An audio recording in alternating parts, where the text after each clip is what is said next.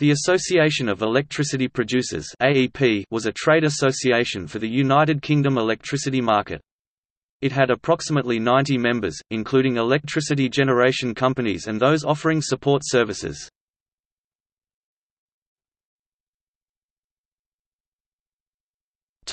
History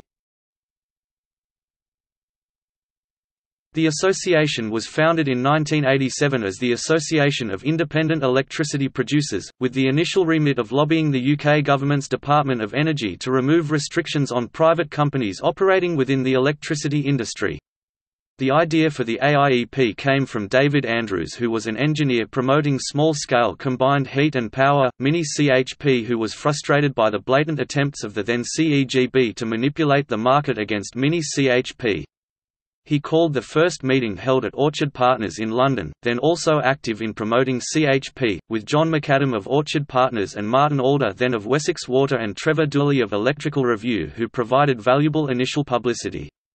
Early on Andrews suggested that a contact, David Porter, who had a small desktop publishing business provide a newsletter. Porter went on to become the director and chief executive.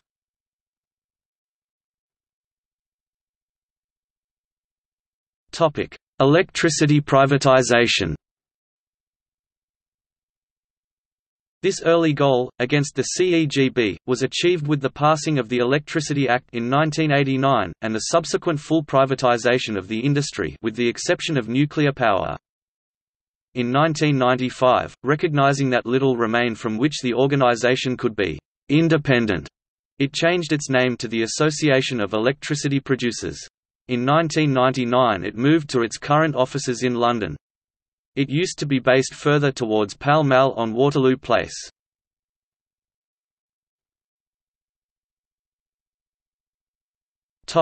Structure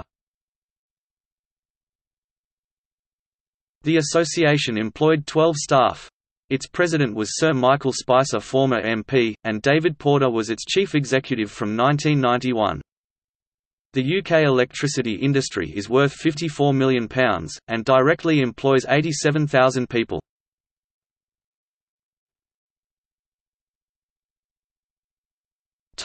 Merger